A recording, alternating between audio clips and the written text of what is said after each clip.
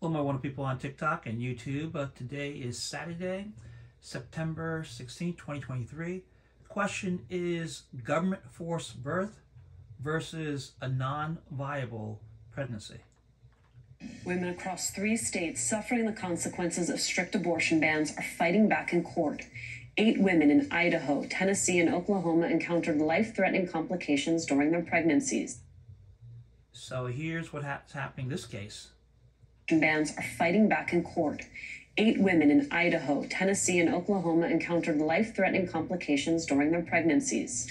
They were prohibited from receiving abortions because of their state's laws. One of them, Allie Phillips of Tennessee, joins us now, as is Marc Hearron, senior attorney for the Center for Reproductive Rights. His organization is representing the women in court. Thank you both so much for being here. Allie, even through your preg- even though your pregnancy was non-viable, you were unable to receive an abortion in Tennessee. You traveled to New York City to receive the care you needed. What was the impact that had on you and on your family? Um, it was it was extremely difficult.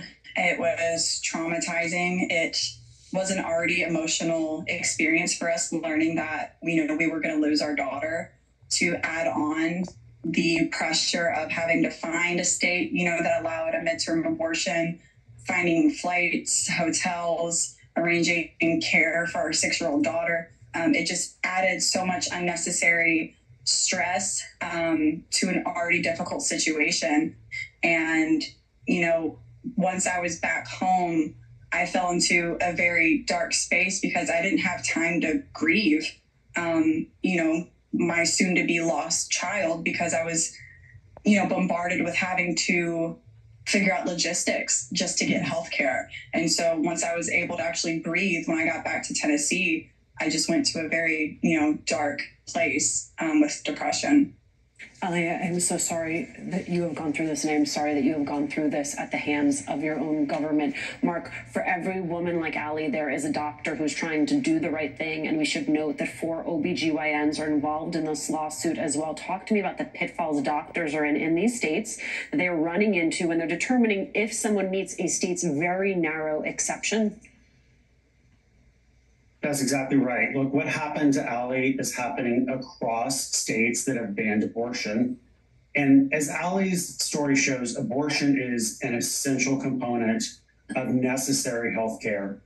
Abortion bans that have criminal penalties that criminalize doctors' practice of medicine are putting pregnant people in danger all across the country. As you said, doctors are frightened of providing essential abortion care to their patients because they're they're afraid of running afoul of these abortion bans and finding themselves either criminally charged or potentially losing their medical license. So that's why the Center for Reproductive Rights um, filed a suit earlier this year in Texas and then this week in Tennessee, Idaho, and uh, an action in Oklahoma because uh, we're asking the courts to clarify exactly when doctors are allowed to provide this essential abortion care under the narrow exceptions um, of the state's abortion bans. Because look, what happened to Allie shouldn't happen to anyone else. Doctors ought to be able to practice medicine in consultation with their patients. And so we're trying to make sure that that happens uh, going forward in these states. Allie, you know, this is a conversation that for decades has been incredibly heated nationally and the conversation is just really different when you're having it with a friend a neighbor with someone who's actually living with the reality of this policy i wonder for you having been touched firsthand by these policies what you think the national debate the national discourse misses I think they miss the fact that abortion isn't a one size fits all procedure. Um, you know, the pro life um, standpoint is it shouldn't be used as birth control. Like that's that's their argument. Um, and there are so many women out here that need it for a life saving reason. And I personally don't know anybody that uses abortion for birth control. I just feel like that's very far fetched.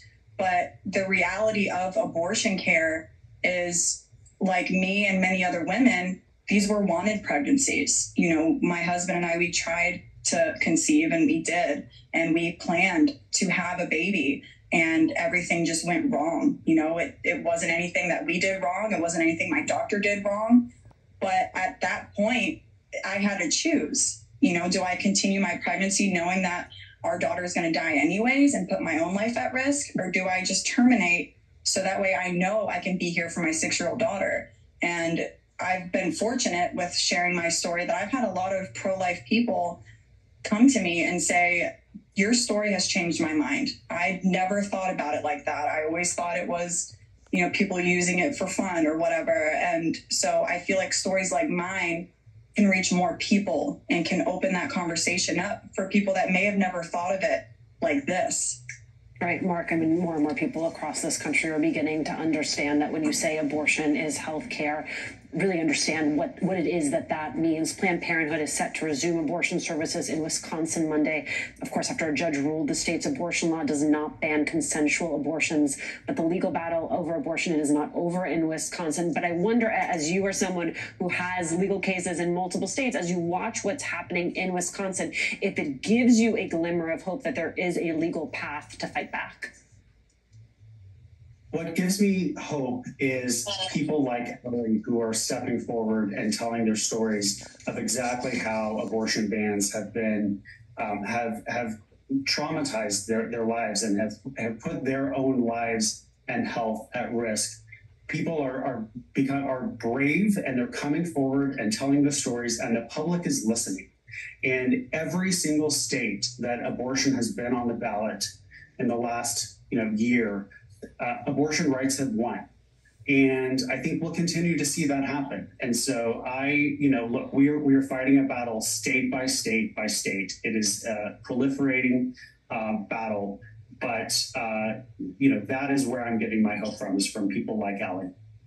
Allie, uh, the, the word courage and strength, they were both used, and I agree. I appreciate you and what it takes for you to come on national television and share this story over and over again. Marc Hearron, Allie Phillips, thank you both so much for being with us. As weather sets daily record.